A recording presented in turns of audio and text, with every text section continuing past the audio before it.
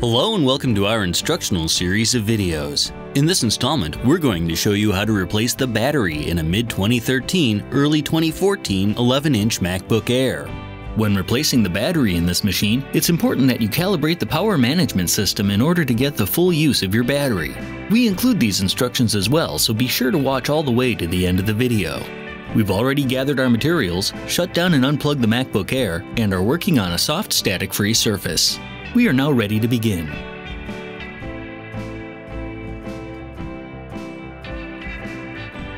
The first thing to do is close your MacBook Air and flip it over. On the bottom are 10 5-point Torx screws to remove using your pentalobe screwdriver. The two center screws along the hinge edge are longer than the others, so let's remove those first.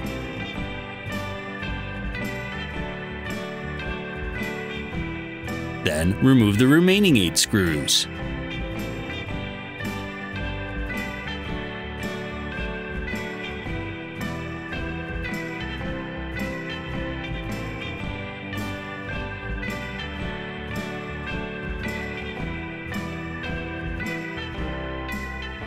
You can now lift the bottom cover up and off. There's a snap underneath near the center, so you may have to pull a bit to detach it. The battery connector is located here. To detach the battery, carefully lift up on the edges of the connector until it comes free. There are five Torx T5 screws holding the battery in that need to be removed. These three are longer, so we'll remove them first.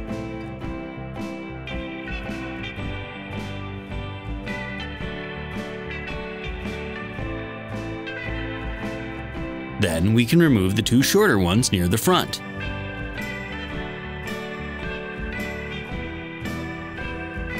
Now all you need to do is lift the battery up and out of the MacBook Air.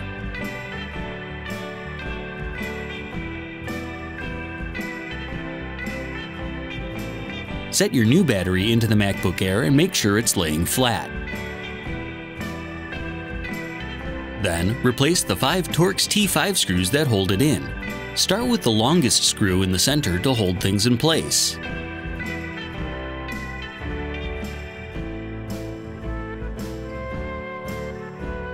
Then the other two long screws in the inner corners.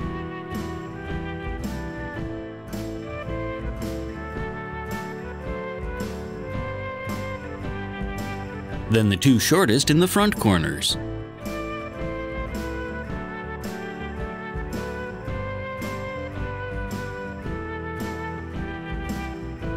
Finally, connect the battery by lining up its connector and simply pushing it back into place. You can now set the bottom cover back into place and replace the screws you removed earlier. First, push down in the center to engage the internal clip. Then, replace the two longer screws which go in the center on the hinge edge.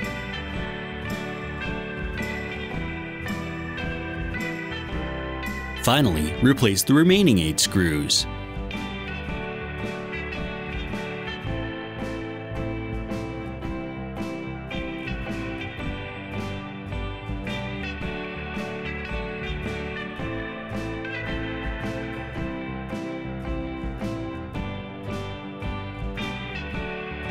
You may now flip your MacBook Air over, open it up, and turn it on.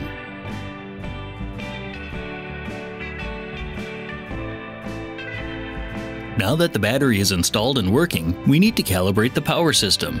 We'll be demonstrating the process with a MacBook Pro, but it's the same for all MacBook models. First, shut your computer all the way down.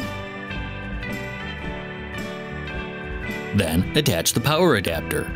The light on the adapter should turn amber to show that the battery is charging. Once the battery is 100% charged, the light should turn green. Once it has, you should leave it connected for at least two more hours. However, you can use your computer during this time rather than leaving it off. After that, we'll need to discharge the battery. First, in the Energy Saver preference pane, make sure all the sliders are set to the right and any power saving measures, like sleeping the hard drive, are turned off. Do this for both the power adapter and the battery settings. Once you've done that, disconnect the power cable and let the battery discharge completely until the computer shuts down. You can still use it at this time, but don't do anything particularly heavy. Steady and even usage will result in better power system calibration. Once the battery is discharged, your computer will automatically shut down. Leave it shut down for at least 5 hours to ensure the battery is completely drained. Finally, reattach the power cable and let the battery charge back up to 100%. This time, you can use the computer while it's charging. Once the battery is charged back up, the power management system is properly calibrated. You can now set your energy saver settings back to what they were before and use your computer normally.